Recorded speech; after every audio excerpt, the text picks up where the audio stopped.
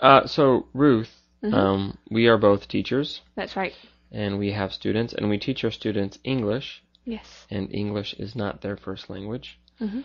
What do you do in class when students do not speak English, when they speak their own language instead?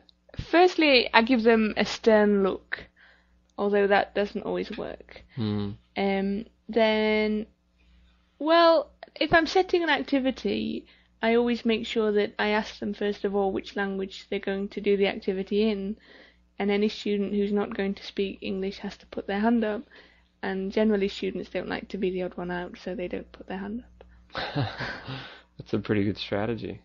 What do you do? Um, well, I don't know. I mean, I haven't had much success really. So I've actually been pretty casual about it. I just let them speak um, occasionally to each other in their own language.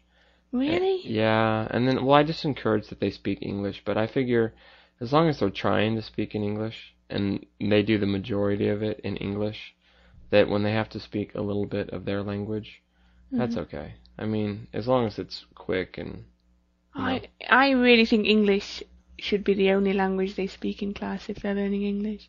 Mm.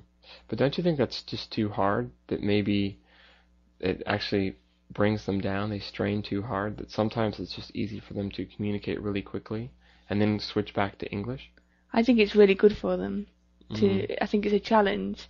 I'm not saying it's easy for them, but I do think it's good for them, and I think it helps their English to improve more quickly. Mm.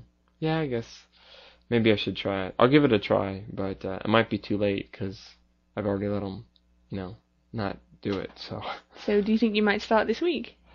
I'll try, but uh, I have to be careful because I don't want to shock them too much.